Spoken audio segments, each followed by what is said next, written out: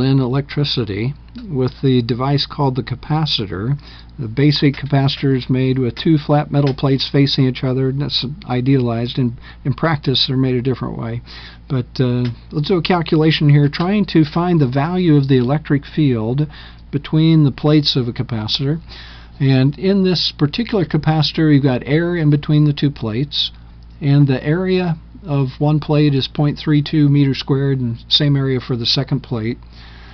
The charge on each plate as a magnitude is 0.026 microcoulombs. One is positive charge, the other is negative charged. Uh, that's the way capacitors operate. But the magnitude of the charge on the two plates is the same. We want to know the value of the electric field between the plates. And uh, there's some technical things. It's not quite a constant. It's nearly a constant, and at the edges is where we deviate the most from uh, the analysis that, that goes on here. Well, here's our uh, situation, our plates, and we want to know the electric field in between these plates. If I put plus Q here and minus Q here, what's the direction of the electric field? Now, electric field goes in the direction a positive charge would move if it's free to move. It's going to be repelled by positive, attracted to negative. So it's it's going to cross off to the right.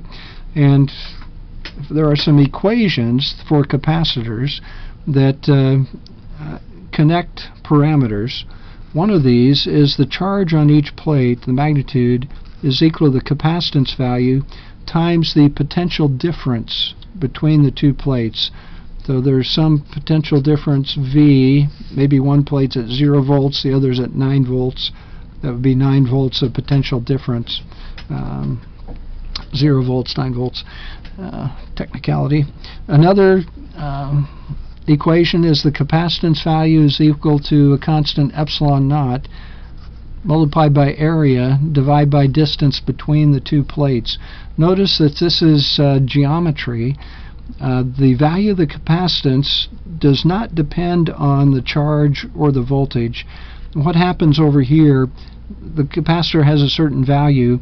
If someone changes the potential difference between the plates, hooks up to a 9 volt battery and then a 12 volt battery, the charge on each plate will adjust. So the, the charge and the potential difference do not control the value of the capacitance. Um, these two follow each other. Uh, C is a constant based on the geometry. Another expression that's useful is the electric field is equal to the potential difference divided by the distance between uh, the place where the potential has been measured. So the potential difference between the two plates, this would be the distance of one plate to another. So let's start rearranging here and see what we can accomplish in finding the, our answer for the electric field in this situation. I'm going to start with this electric field is volts per meter. What's the potential difference for a certain separation? And we're going to replace the V here using this Q equals CV equation. Now if we solve this for V, I'd have Q over C. So I'm going to make that substitution.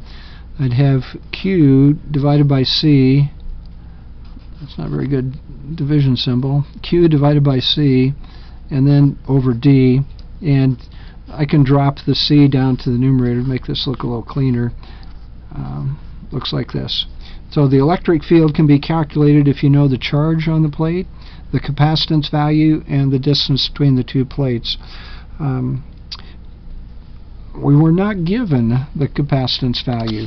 We're given Q and D. So let's get rid of the capacitance value. And to do that, we're going to use this uh, definition here. I'm going to replace C with epsilon naught A divided by D. So if I do that over here, I'd have Q and then replacing C with epsilon naught A over D and then we still have to multiply by d.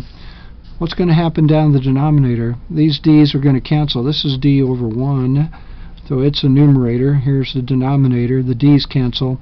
And the electric field can be calculated by q over epsilon naught and a. In fact, what we've been given. We were given the q, we were given the a, the epsilon naught is a constant. So let's go ahead and put in those values, those numeric values. The electric field, 2.6 times 10 to the minus 8 coulombs. And there is an unfortunate uh, uh, kind of trap here. If I just write C here, you might think this stands for capacitance, but I'm writing in the value of charge. C is the abbreviation for coulombs, but I don't want to put it in because of the confusion with the capacitance symbol. Um, so we've got uh, the 2.6 times 10 to the minus 8 coulombs. Epsilon naught is a constant, 8.85 times 10 to the minus 12 for standard metric units. And we were given the area of one plate, 0.32 square meters. There were standard metric units all the way across here. So we'll get uh, volts per meter for our electric field. You ought to put this into your calculator. if you have a graphing calculator, be careful. 2.6 times 10 to the minus 8, divide by this number, and then do a division again by this number.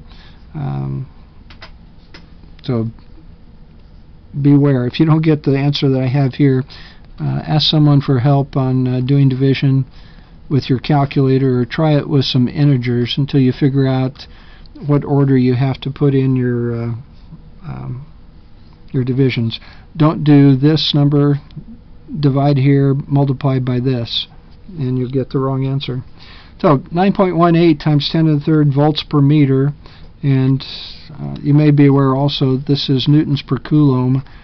It'd be 9.18 times 10 to the third uh, newtons per coulomb. That's the value of the electric field between the plates of a capacitor, where the, each plate is 0.32 square meters, and the charge is 0.026 microcoulombs. So keep practicing with that.